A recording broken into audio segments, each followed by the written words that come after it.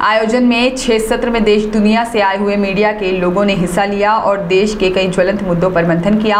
State press club अध्यक्ष धारीवाल ने बताया कि भारतीय पत्रकारिता महोत्सव का आयोजन 14 से 16 अप्रैल को इंदौर में आयोजित किया गया, जिसका रविवार को समापन हुआ। इसमें छह सत्र में तीन मास्टर क्लास के माध्यम से देश के समय सामयिक ज्वलंत मुद्दों पर चर्चा की गई। इस महोत्सव में 100 से अधिक संपादक और वरिष्ठ पत्रकार शामिल हुए। कार्यक्रम में के अंतिम चरण में देश के प्रमुख सक्रिय प्रेस क्लब के अध्यक्ष की बैठक लेकर एक तारतम्य स्थापित किया और ताकि लोग मिलजुल कर काम कर सके। इस तरह से यह पत्रकारिता महोत्सव का आज 15 वर्ष सफलतापूर्वक संपन्न हुआ।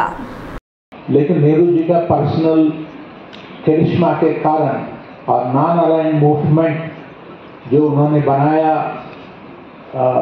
नासर और मार्शल टिटो के साथ तो उसका बहुत मूवमेंट के सदस्य थे।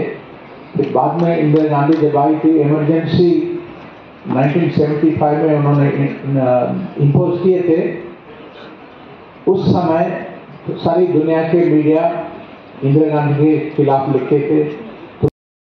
तरह का आयोजन आज है और तीन दिनों का भारतीय पत्रकारिता महोत्सव का आयोजन शुक्र, शनि और रविवार को हुआ और मुझे खुशी है कि इसमें हमने छः सत्रों में और तीन मास्टर क्लासों के माध्यम से लगभग जितने समसामयिक और ज्वलंत मुद्दे हैं, उन पर बातचीत करी और लगभग सौ से अधिक संपादक और वरिष्ठ पत्रकार इस महोत्सव में इंदौर आए।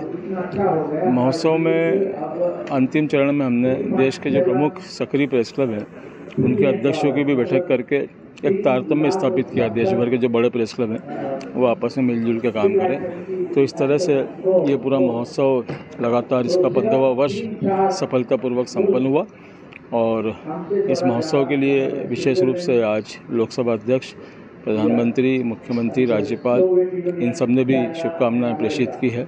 तो मैं सभी के प्रति कृतज्ञता ज्ञापित करता हूँ। और इंदौर के मीडिया विद्यार्थियों ने भी इस महोत्सव में बढ़ चढ़ के भाग लिया। ये भी इस महोत्सव की एक बड़ी सफलता रही।